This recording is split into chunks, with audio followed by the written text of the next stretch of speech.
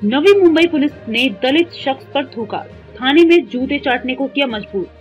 कहा जाता है कि अधिकारी ने उस दलित व्यक्ति के खिलाफ शिकायत की थी, जिसने कलम बोली पुलिस स्टेशन के अधिकारियों द्वारा साइबर घोटाले में ठगे जाने के बाद अपनी शिकायत दर्ज करने में दिखाई गई हिचकिचाहट के बारे में वरिष्ठ पुलिस अधिकारियों से शिकायत की थी। नवी मुंबई के कलम बोली पुलिस स्टेशन में तैनात एक सहायक पुलिस निरीक्षक पर गुरुवार को थाने परिसर में 28 वर्षीय एक दलित व्यक्ति के साथ मारपीट करने का मामला दर्ज किया गया।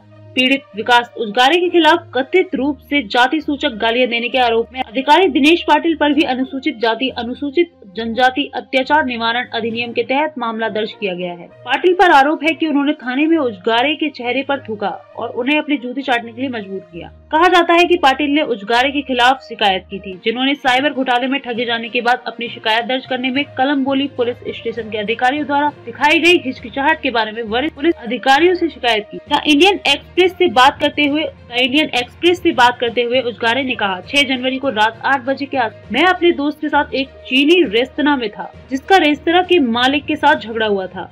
मालिक ने हम पर हमला किया और मैंने पुलिस कंट्रोल रूम को फ़ोन किया। जल्द ही कलम्बोली पुलिस स्टेशन की एक टीम मौके पर पहुँच गई। अधिकारी ने कहा कि चोट लगने के कारण उन्होंने पुलिस अधिकारियों से उन्हें अस्पताल ले जाने के लिए कहा, लेकिन उन्होंने इनकार कर दिया। बहुत मिन्नतें करने के बाद अधिकारी मुझे पनवेल के एक सरकारी अस्पताल कर, बहुत मिन्नतें करने के बाद अधिकारी मुझे पनवेल के एक सरकारी अस्पताल में ले गए। डॉक्टरों ने पुलिस को मुझे दूसरे अस्पताल में ले जाने की सलाह दी। हालाँकि अधिकारी मुझे कलम्बोली पुलिस स्टेशन ले गए, जहाँ मुझे फर्श पर बैठने के लिए मजबूर किया गया। तभी पाटिल आया और मुझे थप्पड़ मारने लगा। उन्होंने कहा की पुलिस ने उनकी पहचान उस व्यक्ति के रूप में की जिसने, उन्होंने कहा की पुलिस ने उनकी पहचान उस व्यक्ति के रूप में की जिसने उनके खिलाफ शिकायत की थी। नाराज़गी रखते हुए पाटिल ने मेरे चेहरे और गर्दन पर मारना शुरू कर दिया। इसके बाद वह मुझे घसीटते हुए कमरे में ले गया, जहाँ मुझ पर बेरहमी से हमला किया गया। अधिकारी ने तब मुझसे मेरी जाति के बारे में पूछा। जब मैंने कहा कि मैं एक दलित हूँ तो उसने मेरी जाति को गाली दी और मुझ पर निचली जाति का होने के लिए थूका। अट्ठाईस वर्षीय ने कहा, पाटिल ने उसे अपने जूते चाटने के लिए मजबूर किया। उन्होंने दावा किया की सात जनवरी को सुबह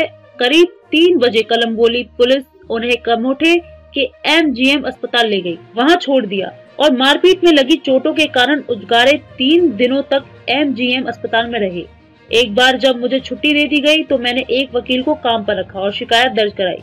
मेरा बयान 14 जनवरी को जोनल डिप्टी कमिश्नर और सहायक पुलिस आयुक्त द्वारा दर्ज किया गया था उजगारे ने कहा।